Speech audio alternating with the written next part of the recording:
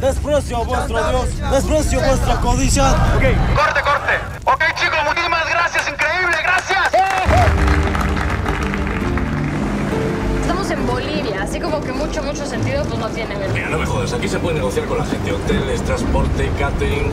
Entonces la razón es el dinero. Sí, siempre es el dinero, siempre. Y lo vamos a conseguir. Yo, Cristóbal Colón, tomo posesión de estas tierras. Los haremos esclavos.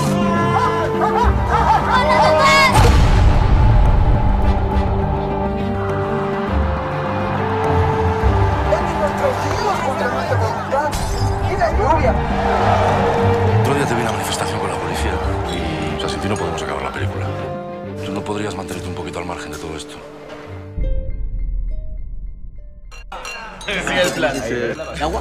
Y aquí.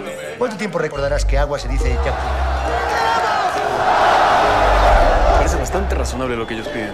A mí me parece que una persona que gana dos dólares al día no puede soportar un incremento en el precio del agua del 300%.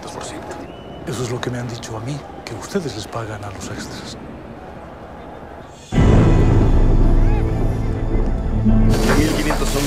Sí, ¿no? Tú detrás, ahí. Y comenzamos. Mirad a los indios a los ojos. No tienen almas racionales. El gobierno ha decretado el estado de excepción. ¿Acaso no son hombres? ¿Acaso no estáis obligados a amarles como a vosotros mismos?